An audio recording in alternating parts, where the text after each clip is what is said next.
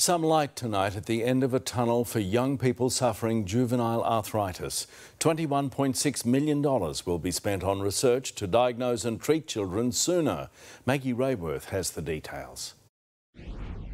Five year old Purdy was diagnosed with juvenile arthritis when she was just two. She was having a lot of pain after she woke up from sleeping, um, just screaming.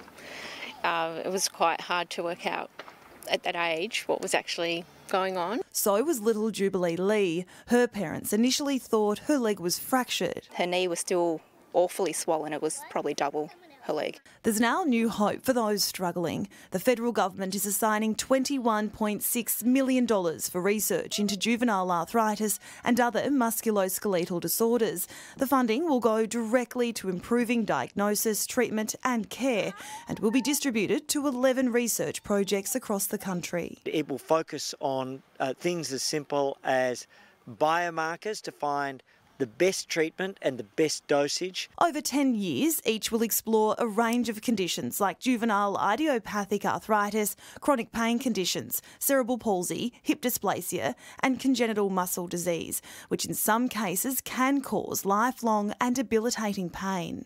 Juvenile arthritis is one of the most common chronic childhood diseases. According to Juvenile Arthritis Foundation Australia, between 6 and 10,000 Australian children suffer from the condition. To these parents desperate for change, the funding couldn't come soon enough. Oh, I think it's really important because right now there's so much unknowns. I mean, it's wonderful, it's, it's hopeful, but there's a long way to go. Maggie Raworth, 9 News.